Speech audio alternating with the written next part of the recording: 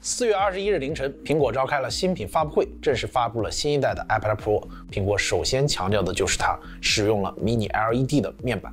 那在这块十二点九英寸的面板上，苹果植入了超过一万零三百八十四颗 LED 灯珠，并且组成了两千五百九十六个局部调光区域，峰值亮度可以达到一千六百尼特。那新款 iPad Pro Mini LED 会呈现什么样的不同呢？各位可能得等一等。但是。但是，TCL 的2021重磅新品 C12 我们已经拿到了。那这是一款量子点 Mini LED 的制屏，而且获得了各种的奖项。那这款电视会不会刷新智电对于画质极限的认知呢？我是智联实验室的小春哥，让我们一起进入 TCL C12 的测评。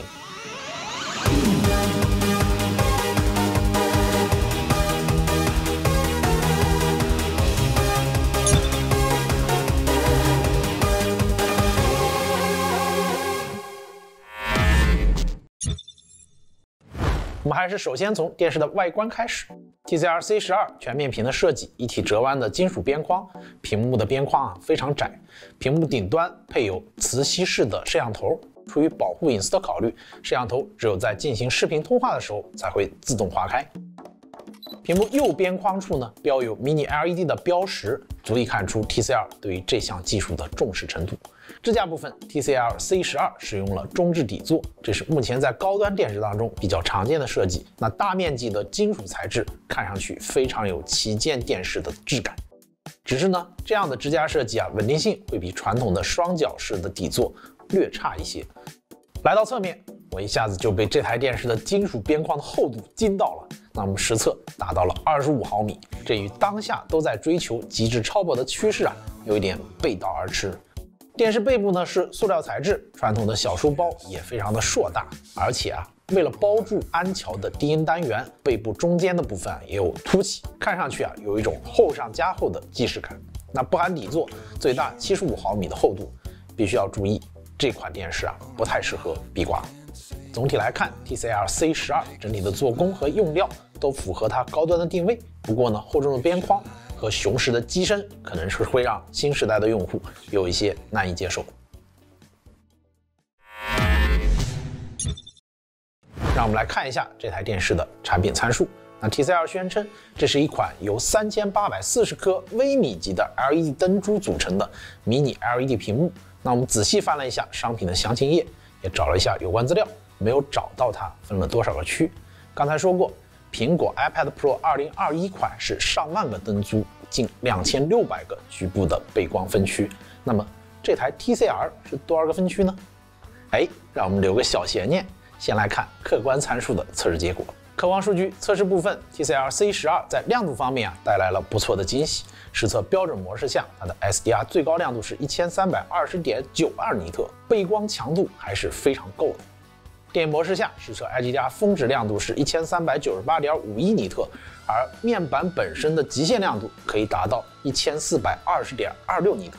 那 TCL C12 的亮度表现，在致电 HDR 峰值亮度排行榜的榜单当中获得了第四名的好成绩。理论上，这个亮度水准可以非常从容的应对高阶 HDR 的片源。那除了亮度之外，TCL C12 搭载了量子点技术，在电影模式下，我们实测 P3 色域的覆盖率是百分之九十六点零一。那在智联实验室 P3 色域排行榜当中啊，属于中上的水准。色准方面，在比较追求真实还原的电影模式下，色准平均 Δ 值是三点三五，还不错。颜色呢没有出现大幅度偏离的情况。在默认的标准模式下，我们实测色准平均 Δ 值是九点零七。那我们可以看到。红、绿、蓝以及比较鲜艳的颜色呢，都有不同程度的加深，偏差稍微有点大。那在白平衡测试方面，我们可以看到蓝色有些许的偏高，整体的画面呢会偏蓝一些。那我们也多次提过，这是很多电视的调教方式，一定程度上的偏蓝会让画面显得更加的柔和一点。伽马值实测是二点三三六，和标准值二点二还算接近，但是在百分之五亮度的时候啊出现明显的波动，这也代表伽马呢有一些偏小。画面呢会有一些偏暗，不过整体的偏差不算大，属于比较正常的水准。在颜色过渡的测试当中，TCL C12 在电影模式下表现比较出色，除了洋红有小幅度的偏离之外，其他颜色的过渡都比较贴合标准。而在常用的标准模式下，色彩过渡和色准的表现都是一样的，红色和洋红色都被调教的更加的艳丽。那从客观数据的综合表现来看，TCL C12 的各项数据都属于正常的水准，没有明显的缺陷和短板，表现令人满意。屏幕参数之后，我们也来揭秘一下对一台电视画质影响非常大的分区孔光。那么没有标记画了多少个分区的 TCL C12 给了我们一个难题，那我们只能一个个数了。大家猜猜是多少呢？一百六十个，十六个一行乘上十行，我的天，六十五英寸只有一百六十个。拜托，同是六十五英寸的 OPPO 智能电视 S1，普通直下式背光都有二百一十个分区，所以。这是迷你了个寂寞吗？让我们来看一看这台电视屏幕的客观测试。在屏幕漏光的测试当中，开启区域控光之后，可以非常明显的发现漏光得到了抑制。不过呢，从我们这张测试图当中也可以看到，中心点亮部分啊出现了明显的光晕现象。而在蓝光机的星空测试片段当中，TCL-C 十二的表现也差强人意。星空刚刚出来的时候就有非常明显的光晕现象。正常运动之后，屏幕的四角也存在漏光。那在屏幕均匀性方面，我们使用百分之五十的灰度图片进行测试，得益于迷你 LED 背光技术的加持，TCL C12 它的屏幕均匀性非常出色，没有出现明显的暗斑和亮度不均匀的情况。不过呢，在屏幕的四周出现了些许偏黄的情况，而且啊还挺明显的。还好，在运动补偿方面，配备了一百二十赫兹高刷新率面板的 TCL C12 表现还算出色。那在这段对电视动态画面要求极高的测试片上，测试块在扫描过上方的竖格时，没有出现破损的情况。当我们将动态补偿开启到最高档，也就是插入过渡帧之后，上方的竖格呢出现了一定程度的破损的情况。下面的字母虽然运动变得更加流畅，但是也是出现了轻微模糊的情况。而同样考量运动补偿的红辣椒测试片源当中。在动态补偿关闭的时候啊，红辣椒有抖动的情况，并且周围呢出现了大面积的光晕。开启运动补偿之后，辣椒抖动的幅度就会减小，运动的更加流畅。但是呢，也有轻微模糊和拖影的情况，并且依旧有比较明显的光晕。再让我们来看对游戏影响比较大的参数，C12 在游戏模式下，4K 60赫兹输入延迟是十三点八毫秒，它的排名是比较靠前的。而且 C 十二的三个 HDMI 接口都能够支持 4K 一百二十赫兹输入，在接入 PS 五之后啊，可以正常开启 4K 一百二十赫兹的游戏。那进入游戏之后，画面也比较正常，而且操作起来也比较跟手，拿来玩游戏没有太大的问题。不过啊，在我们接入 Xbox One 的时候，即使开启 HDMI 增强，也没有办法开启 VR 可变刷新率，ALLM 自动降低输入延迟倒是可以正常的支持的。整体屏幕素质，TCL C12 不仅背光分区数量远低于预期，软件算法也有点力不从心，这让我们对后面的画面测试部分表示担忧。同门兄弟雷鸟硬件偏硬、软件偏软的毛病啊，似乎在这台 C12 上还是没有解决。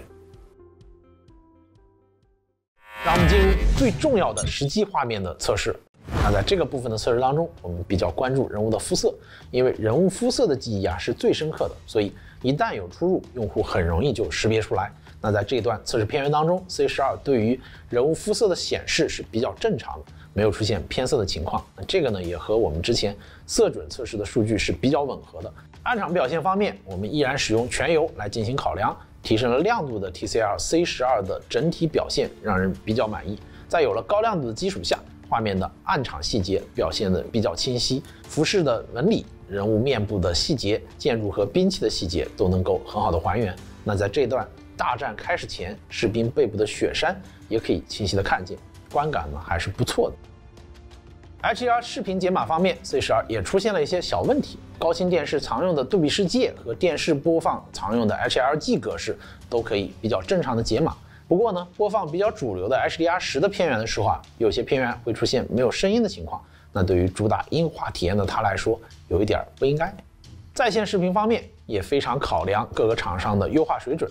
我们在观看电影《刺杀小说家》的片段当中，马鞍上的挂饰偏红依旧是比较严重，甚至有一些偏紫，会影响画面的整体观感。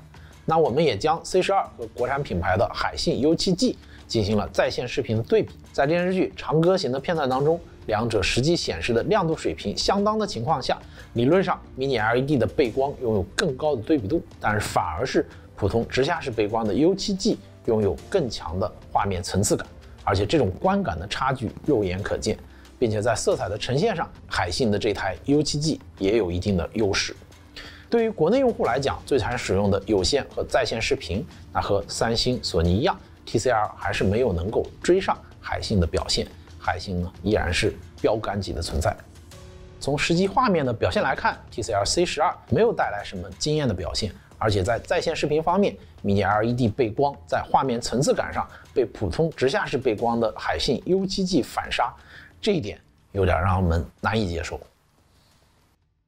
TCL C12。六十五英寸，京东售价是一万四千九百九十九，国美电器实际下单的价格也要达到一万两千九百九十九。呼声很高的 TCL C 十二实测下来，表现是低于我们的预期的。大家对于 Mini LED 背光技术的期待是渴求达到 OLED 层级的控光效果，C 十二显然没有办法在这一点上得到胜任。那可怜的背光分区的数量带来明显的光晕溢出，最终。TCL C 十二获得了致电实验室画质评分七点七九分，那距离八分的优秀门槛还是有一定的距离。TCL C 十二作为我们二零二一年测试的第一款 Mini LED 的电视，它和我们想象当中的 Mini LED 完全不一样。那这款产品打着 Mini LED 的概念，挂着 Mini LED 电视的价格，却没有办法呈现 Mini LED 电视应该有的画质水准。所以问题来了。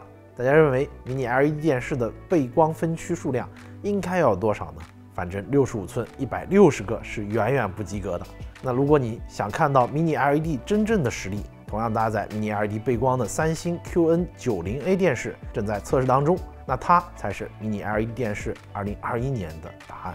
同样六十五英寸的 OPPO 智能电视 S1，它的售价是七九九九，画质得分更高，所以一万四千九百九十九元这个价格。想卖吗？如果大家喜欢我们的电视视频，那别忘了给我们点个赞。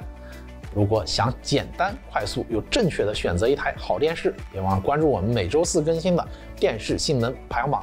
好了，这就是本期视频的全部内容。非常感谢大家的收看，我们下期视频再见。